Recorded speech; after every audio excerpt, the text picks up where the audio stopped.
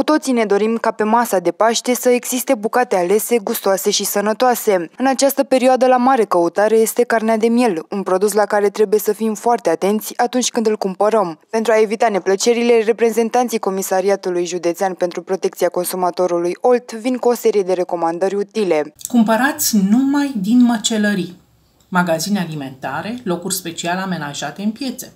Carnea trebuie să prezinte ștampila sanitar-veterinară. Carnea să fie elastică, să nu prezinte suprafața lui picioasă sau urât mirositoare.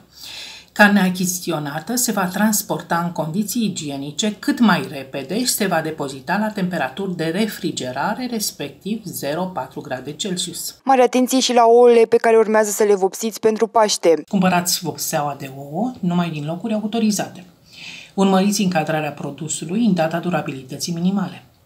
Atenție! La vopsirea ouălor, nu utilizați vopsea pentru alte destinații, precum cea tipografică sau pentru textile. Utilizarea altor tipuri de vopsele poate prezenta pericol pentru sănătate. Luna aceasta, comisarii olteni vor intensifica controlele, iar agenții economici care vor fi prinși pe picior greșit vor fi aspru sancționați.